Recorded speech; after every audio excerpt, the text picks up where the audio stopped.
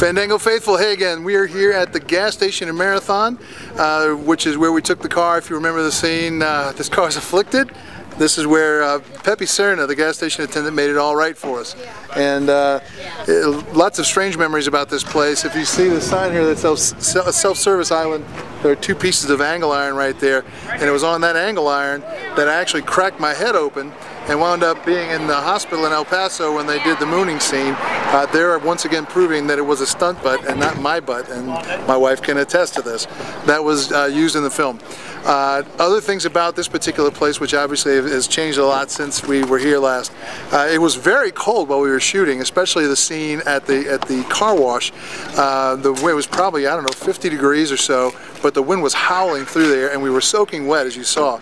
And so when we were washing off uh, Phil, trying to get him cleaned off, first of all, they had a dial on the nozzle that they dialed down the pressure because if I tried to hit him with the full force of that, it, it would have literally torn his flesh.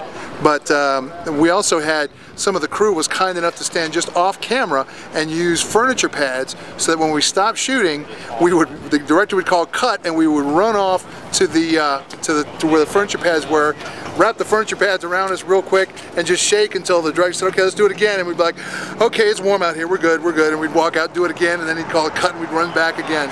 And if you look at the scene when I'm, when I'm hosing him down and it's a wide shot in the distance you see a tree, and you see the tree just shaking in the wind like that, man, you'll see how much wind was out there. Lots of great memories here, lots of fun. Thanks for sticking with us on this Ultimate Fandango uh, commentary and location guide.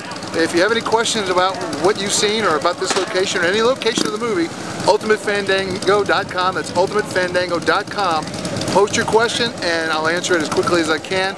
Join us. There's lots of great uh, uh, things on there, and people to talk to who are also passionate about this movie. And uh, we'll look forward to uh, going to the next location. Right now, we're getting ready to go have three chili dogs and a malt. We'll see you in just a minute.